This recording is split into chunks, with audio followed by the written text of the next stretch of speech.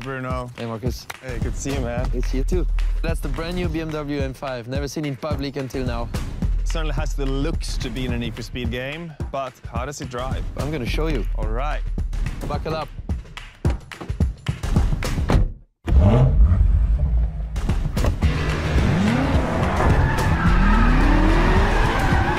So, Bruno, tell me, what's special with this brand new BMW M5?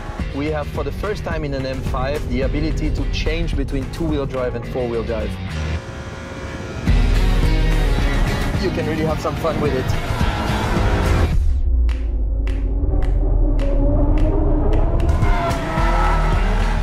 So, all this drifting around corners is super cool, but as the name Need for Speed implies, it's all about going super fast. Well, under the hood, I have a V8 engine, which takes you from 0 to 60 miles per hour in less than 3.5 seconds.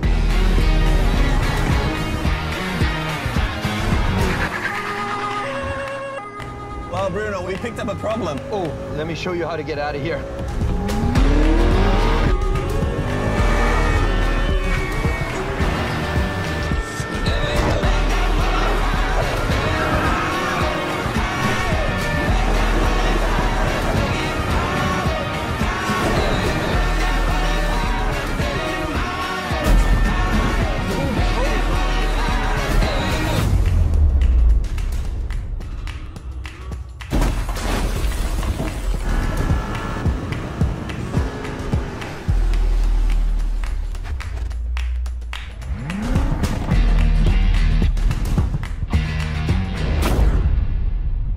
What do you say now?